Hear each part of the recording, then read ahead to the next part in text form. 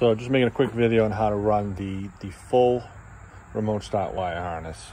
So this is this is mine. This is just the one I'm, I mocked up to show you how to run it. Um, basically, if you can come under this crossbar here, come up and under with this, connect it. So the wiring drops down. You can see it here. Just run it along with this wire. You can zip, actually zip tie it together if you want. And then you can see here, I kind of continued underneath here. You can see the wire right here.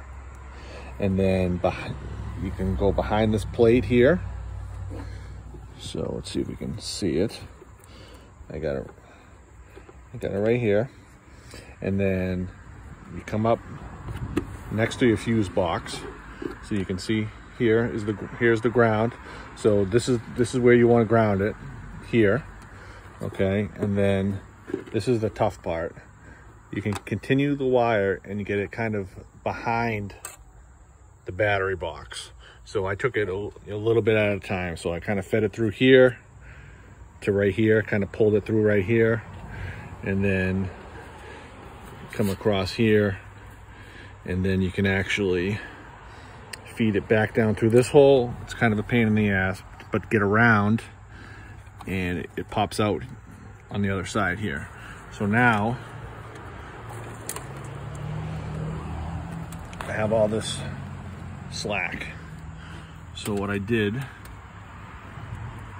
sorry, is I kind of just uh,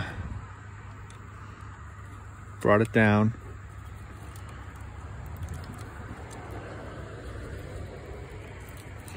through the corner.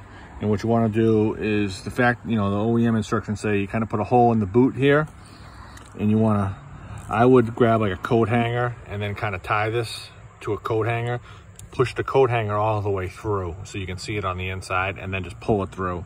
And then you can pull it through into the cab.